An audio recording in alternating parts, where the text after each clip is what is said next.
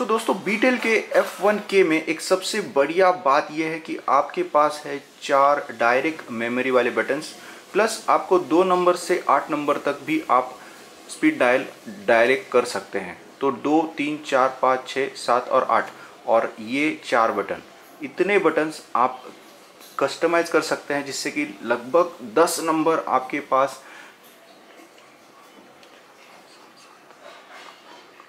लगभग 11 नंबर्स आपके पास ready to dial रहते हैं। हमेशा ये इस फ़ोन की सबसे बड़ी खासियत है। तो दोस्तों, शुरुआत कैसे करेंगे ये हम देख लेंगे। सबसे पहले हम जाएँगे डायरेक्ट मेमोरी वाले ऑप्शन में।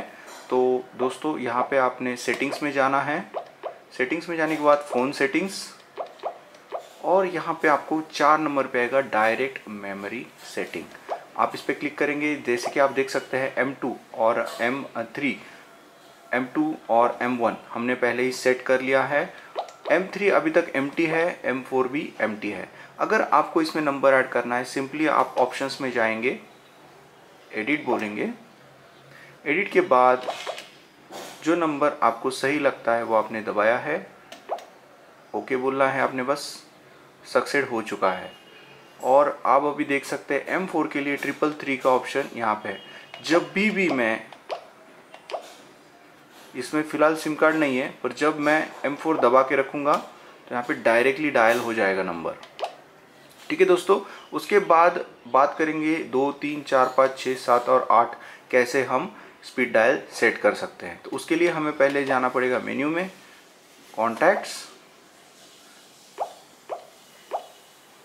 और यहाँ पे स्पीड डायल सेटिंग तो दोस्तों, इस सेटिंग पे हमने जाना है।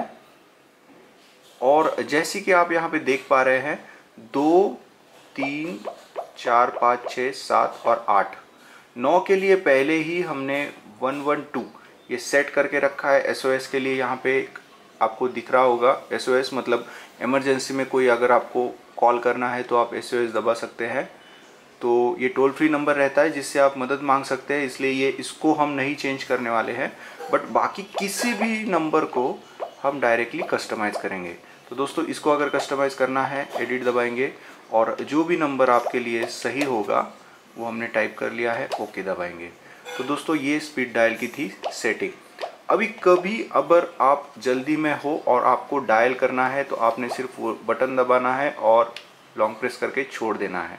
अगर वो सेट नहीं किया है तो वहाँ पे लिख के आएगा और अगर आपने वो सेट कर रखा है, ये देखिए जैसे कि हमने अभी M1 और M2 सेट किया था तो सिर्फ़ इंसर्ट सिम लिख के आ रहा है। अगर इसमें सिम कार्ड होता तो वो नंबर डायल हो जाता। तो दोस्तों, ये थी एकदम सिंपल वाली सेटिंग जो स्पीड डायल के लिए बहुत आपका टाइम बचाएगी। और बीटेल का ये F1 के और इसके नए नए फीचर्स अनबॉक्सिंग सभी भी हमने कवर किए हैं हमारे पिछले एपिसोड्स में। तो दोस्तों सो वो वीडियो देखना भी ना भूलें। अगर आप ये खरीदना चाहते हैं तो परचेस लिंक्स डिस्क्रिप्शन में दिए हुए हैं, जिसमें आपको मिलेगी बेस्ट डील तो दोस्तों, देखने के लिए बहुत बहुत शुक्रिया। इस वीडियो के एंड में और भी कुछ वीडियोस हम फीचर करने वाले हैं तो प्लीज़ देखते रहिए लाइक करते रहिए और सब्सक्राइब करना भी ना भूलिए। देखने के लिए बहुत बहुत शुक्रिया दोस्तों। मैं विश्वजीत, आप सबसे भी विदा लूँगा।